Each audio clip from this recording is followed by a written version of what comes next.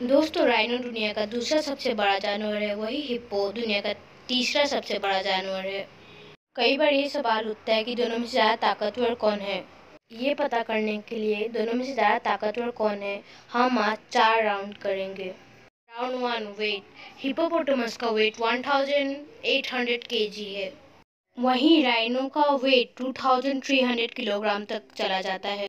Round one का winner है rhino round two height hippo का हाइट 1.3 मीटर टू 1.6 मीटर होता है। वहीं राइनो का हाइट 1.9 मीटर तक चला जाता है। राउंड टू का भी विनर राइनो है।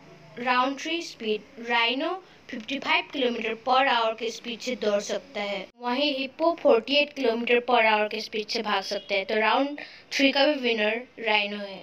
राउंड फोर वेपन वेपन में राइनो के पास उसका एक बड़ा सिंह है और हिप्पो के पास उसका मज़बूत जबड़ा तो ये राउंड ड्रॉ होता है। राइनो के पास फोर पॉइंट है और हिप्पो के पास ओनली वन तो ये साफ़ साफ़ पता चलता है कि राइनो हिप्पो से ज़्यादा ताकतवर है। Thanks for watching